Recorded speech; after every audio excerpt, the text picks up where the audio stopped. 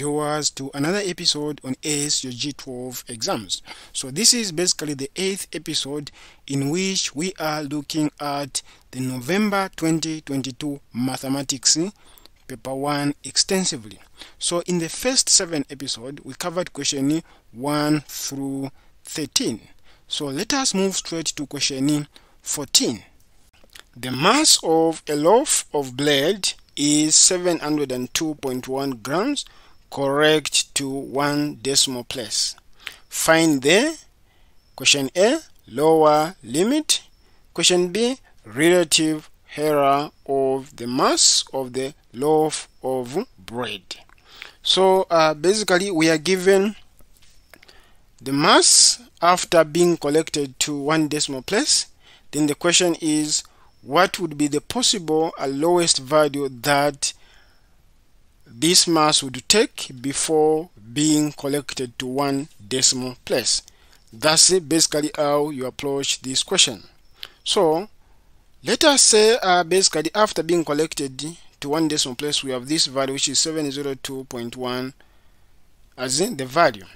Then the question is what is the lowest value this would take such that when you collect it to one decimal place it gets to 702 0.1 so x will take up the values as we look uh, basically for the lowest unit which is 0.1 which is this part. We divide it by 2 we are going to get 0.05 so when you subtract 0.05 from this number we are going to get uh, basically 702.0 5 so if I have this number and I collect it to one decimal place basically because 5 is equal this number which is 5 is basically equal to 5 or greater than 5 so when collecting to one decimal place I'm going to add a 1 here. Then I get back to that. So we know that number. But if this number was a 4 it was 702.04 because 4 is less than 5 even if I were to collect to one decimal place this number becomes just 702.0 so it can't go lower than that. So I have the lowest. So the lowest here is basically this number that we found here. What, what have we done? We've subtracted the this lowest unit we divide by 2 then we get this is what we subtract from this number which is collected to one decimal place. Then if the question was for us to find the upper limit, what we do is basically to this number we add that then we just get a number that is slightly lower than this. So this what would be? It would be something like 702.1 plus this it will be 0.5 now if this 0.5 we were to collect to one decimal place it becomes 2 here. So because it becomes 2 we can't get that where we need to look for a subunit. We subtract one subunit of this which is 0.01 then we end up with 0.04 you see the number that we are going to add so that becomes that. So it becomes 702.14 such that if I were to collect one decimal place because 4 is less than 5 I'm going to add a 0 on this. Then I'm going to end up with 702.1 as long as it is so this is the maximum it can take.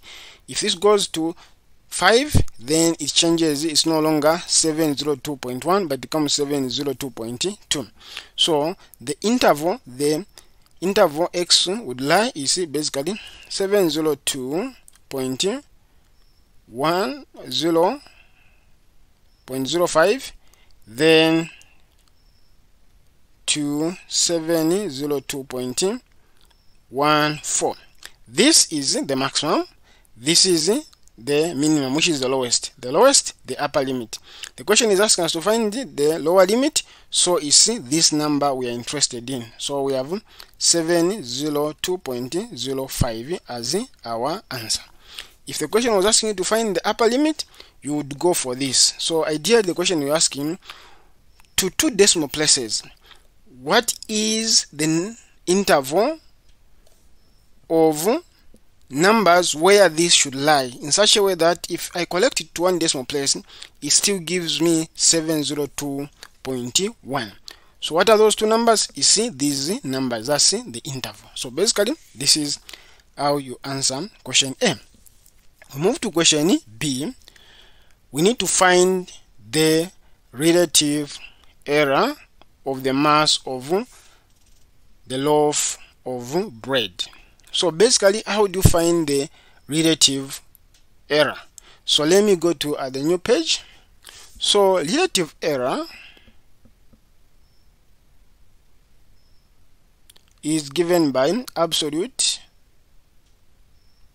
error divided by the true value or the actual value. That's the case.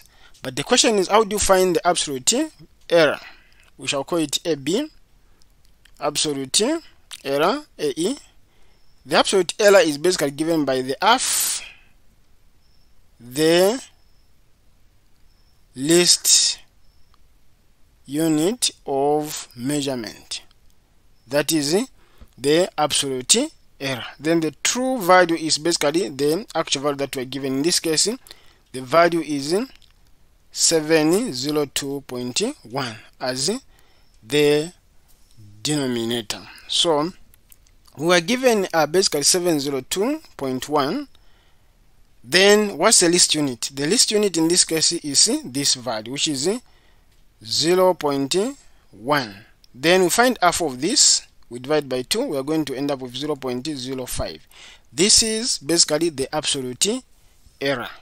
So it's, an error that would make in measurement such that if you collect it one decimal place it will give you a number close to this 702.1 so it's this number that we put here then we divide. So basically once we find that we are going to put this number here then we simplify. So we simplify in the simplest term. Then once we do that we basically saying we found the relative error. So let us uh, create more space so in this case relative error which we shall call error e is equal to absolute error divided by actual value. So the absolute error we found it to be 0.05 we divide by 702.1 then we need to simplify this. So what's the best way we can simplify this is by shifting the decimal places. How do we shift we multiply by uh, the here we have two decimal places by 100 which is the number with 2 0 so 100 down then also we do the same up. So up and down the same thing. So once we multiply that we are going to end up with him basically 5 over 2 702 then 10 so when you to, to simplify this one we're going to have hmm, a 5 over 702 then 10 which is 70,210 then the next thing that we do is we divide by 5 in both sides 5 into 5 is a 1 then we start dividing 5 into uh, basically 7 you see 1 remainder 2 5 into 20 is a 4 remainder 0 then you put uh, 0 plus 2 is basically 2 5 into 2 is a 0 remainder 2 then we come here. These are 2 in front. This becomes 21 here. 5 into 21 is uh, basically 4 remainder 1 okay 1 and this one becomes 10 so 5 into uh, 10 is a 2 so we end up with 1 over 14,042 as basically the relative error of mass of a loaf of bread. So when we get to the uh, question, so we have basically 1 over 14042 as our answer. So basically this is how you answer this uh, question. So I might take a relative uh, time to answer this question because I want you to understand the concept behind. Thank you viewers for watching uh, this uh, video. If you are new to this channel, consider subscribing to our channel because we've got so much content for you. So once you subscribe and go to our YouTube channel, you discover that we've got extensive exam revision where I've covered questions in mathematics, physics, and chemistry. Then we are also adding more subjects. We've got also another section which is topic based exam question revisions. This is uh, the best section for you if you are facing any challenges in any specific topic.